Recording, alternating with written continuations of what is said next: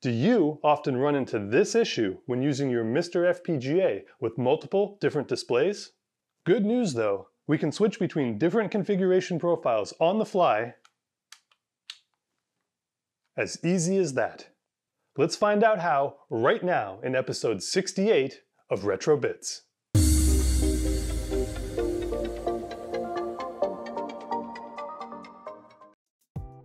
Here we are at the MiSTer's main menu. Let's drop to the command line by hitting F9. The main configuration file is stored on the SD card here in slash media slash fat. Right now, we only have a single default named mister.ini. Inside the file are all of the video settings we're interested in. For example, this line controls the VGA scaler. The video mode line can be one of the predefined settings above or be customized for your specific display. The problem we face is that one config file equals one video mode. So if you're like me and have several displays with different native resolutions, you're probably sick of constantly editing this file as well. Let's fix that.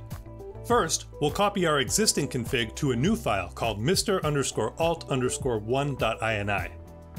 Now, we can edit this new file and configure it for our second display. Most commonly, you'll select a different video mode for the HDMI scaler as you'll want to match the native resolution of your display.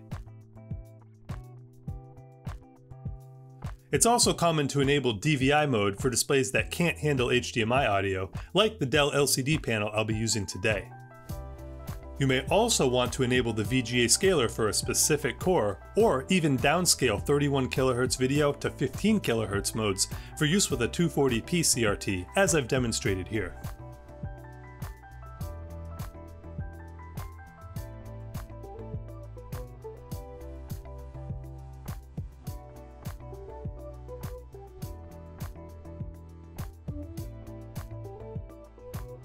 As you may have guessed by the file name, more than one alternate config is supported. You can have up to four in total, although I'm only showing three here, the default and alternate 1 and 2. Here's a trick I like to use. Instead of keeping the prescribed names, I create more descriptive file names for each of my devices, such as the Sony PVM, various Dell LCD panels, a little but darn useful 10-inch IPS panel from AliExpress, and my video capture device. Then, I create symbolic links from these descriptive file names to the ones the MiSTer expects as shown here. This way, I can easily tell what each profile is for when I need to edit them later. Let's see the new configs in action. The default doesn't work with either of these displays. No problem, holding the back button and pressing down on the D-pad selects the correct profile for the left panel. Back and up selects the profile for the right panel. I could do this all day.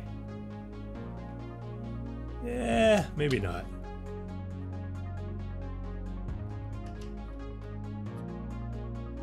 Instead, let's try out all of the profiles on the aforementioned 10-inch panel.